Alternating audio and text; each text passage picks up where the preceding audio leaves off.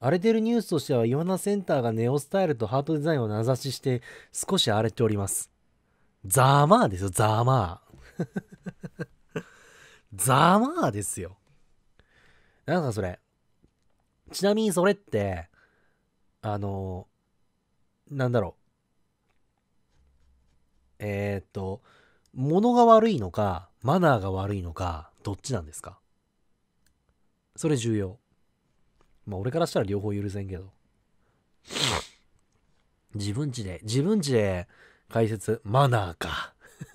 マナーならダメだな。マナーならもうどうしようもない。用語のしようがない。うん。マナー、マナーなら用語のしようはないわ。ああ。それダメだ。うん。物がっていう話だったら、まあ仕方ないよねとか、本当だ。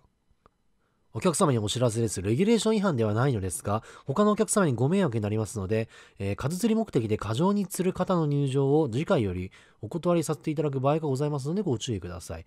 えー5時間100匹以上、1日に100匹以上釣る方は注意してください。はあ。数釣り自体は、でも数釣り自体は別に、あの悪いことではないから、それはそれで一つの楽しみだから。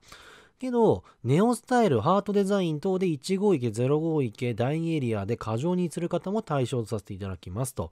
バーチカルプロを何本持っている方は、特に対象とさせていただきますか。はあ。釣りすぎて、死魚が増えた。はあ。釣りすぎて死ぬというよりは、あの、釣った後の扱い方やろうね。ちゃんと蘇生させずに逃がしたりとか、ね。あの、針飲み込まれたとか、うん。そういうことやろうね。はあ。手荷物検査あるのかな？いや、イワナセンターは結構あの、餌やりとかも頻繁にやっとるんで、んまあまあうろついてますよ、係員の人。うん。よくなんか、剣確認される。ジベさんこんばんは。謹慎したいけど、初心者が釣るために必要がある。そうそうそう、ジレンマ。うん。そこら辺はね、なんていうんかな。あの一応解決策はあるのよ。コマさん体調大丈夫じゃないです。うん。コマちゃん、コマちゃん、コマちゃん、コマちゃん？コマさん体調ダメです。大型結構少なくなりました。あー。あのね、一応ね、改善策はあるのよ。そう、イワナセンター豆じゃなくても釣れるんですよ。けどなんかもうね、あの、キャンプ用の椅子敷いて、だらだら大声で喋りながら、ね、あの、そう、こういうなんかルアーで、そこをパンパンやっとるだけのおじちゃんとか、ああいうのは、でもああいうおじちゃんたちってなんか、食べるために持ち帰ろうとしとるから、まだいいんだけど、多分蘇生方法が悪いんやろうね、扱い方。滝さん、あの人たちやたらファイトに時間かけますよね、じゃなくて、そうしないと、えー、あの、糸切れちゃうからですよ。ザーゴだから。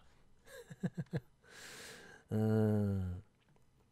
一応ね、あのね、豆軸の禁止の方法っていうのは、えー禁止というか、その改善策としては、もうここまで来てしまったら、その、結局ほら、ルールってのはさ、その管理釣り場の管理人さんが決めることやから、あの、管理人さんが、このルアーはいいですよ、このルアーはダメですよってのをしっかり明確にルール付けするのはいいのよ。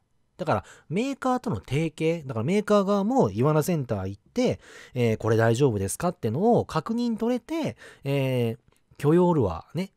あの、この、このルアーは OK ですっていう、あのー提携というか、なんていうかな、認可を下ろすというか、さすがにほら、あの、台湾のさ、前言うとった、なんだっけ、あの、トウモロコシみたいなやつ。えー、っと、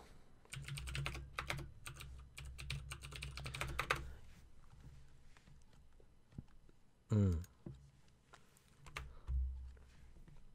やっぱりこういうのだったら、それこそ初心者ね、ジベさんにも前、なんか、やいのやいの言われましたけど、ね、こういうのやったらまだ、まだいいと思うんですよ。うん。けど、その、この、このようにって言ってもあれだな。よいしょ。はい。うん。こういうのやったらまだいいんですよ。うん。けど、その、あの、ハーハート何菓子みたいなネオスタイルの、あの、鼻くそがね、鼻くそとかだと、もう、違うやん。ね、こういうのはダメっていうので、あの、それくらいの、ちゃんとしたルール、うん。うん、ここまで魚が死ぬのが一番ほら良くないからさ、あのーそこは管理人さんの裁量次第で、あの、いいと思うんだよね、正直。うん。で、これとか、こうこういう鼻くそとか、こういう血気うん。こういう血気。うん。明らかに初心者向けてないっていう、初心者へ向けてない、そのね、もうレギュレーションというか、本当にもう倫理観すら欠如した、あの、鼻くそ、ね、乾いた鼻くそと元気な鼻くそみたいな。元気な鼻くそってなんだろう。だからその後の認可性というか、うん。ねレギュレーション何センチ、レギュレーション何センチ、ただし、えー、マルシャ、マルシャ、マルシャのこのルアーは OK ですっていうので、で、その、もしもないんだったら販売しますからっていうので、まあメーカーさんとそこはうまいこと調整して、ちょっと仕入れやすくしてもらったりとかさ、